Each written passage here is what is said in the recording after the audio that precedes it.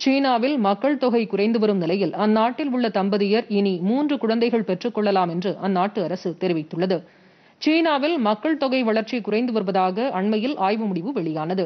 இதையடுத்து குழந்தை பிறப்பை ஊக்குவிக்க சீன அரசு முடிவு செய்தது. அதன்படி சீனாவில் மூன்று குழந்தைகள் பெற்றுக்கொள்ள அரசு அனுமதித்துள்ளது. மக்கள் தொகை பெருக்கத்தை குறைக்க பல ஆண்டுகளுக்கு முன் வீட்டுக்கு ஒரு குழந்தை என்ற திட்டத்தை சீனா அமல்படுத்தியது.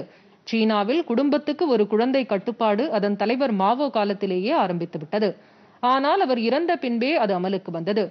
தீவிர மக்கள் தொகை குறைப்பு குடும்ப கட்டுப்பாட்டு திட்டத்தை நடைமுறைப்படுத்தியதால் குழந்தை பிறப்பு வீதம் கணிசமாக குறைந்ததன் விளைவாக இப்போது இந்த திட்டத்தில் தளர்வு கொண்டு வரப்பட்டுள்ளது.